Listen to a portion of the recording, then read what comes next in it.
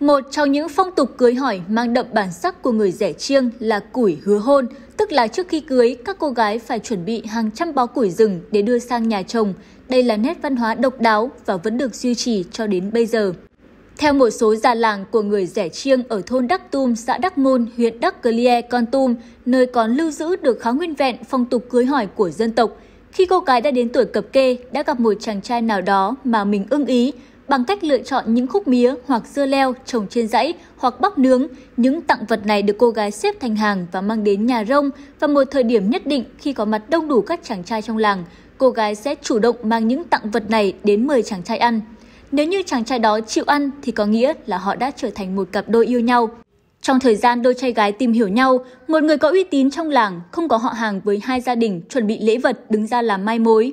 Lễ vật bao gồm củi từ 30 đến 35 bó, 3 bao gạo, một hũ rượu nhỏ, hai chiếc cần để uống đem đến nhà trai hoặc nhà gái do người mai mối chọn, thường thì nhà chàng trai, và gọi người con gái đến cùng uống rượu.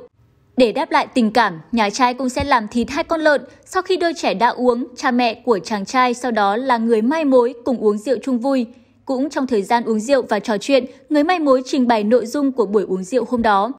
Sau buổi mai mối, cả hai bên gia đình sẽ chọn ngày lành tháng tốt để tổ chức lễ cưới cho đôi trai gái. Vào ngày diễn ra lễ cưới hỏi, phía nhà gái phải cõng sang cho nhà trai lượng củi thường là 100 bó, nhiều thì lên tới 300 bó, chiều dài 1 mét và đường kính bó củi từ 40 đến 50 cm. Đáp lại tình cảm của họ hàng nhà gái, gia đình chàng trai cũng tập trung anh em lại, giã gạo, thổi cơm, mời những người cõng củi ở lại dự tiệc. Trong đó mỗi người tham gia cõng củi đều được nhà trai tặng lễ vật, đó là chiếc cà tu, riêng anh em ruột thịt của cô gái thì nhất thiết phải đủ mỗi người một bộ.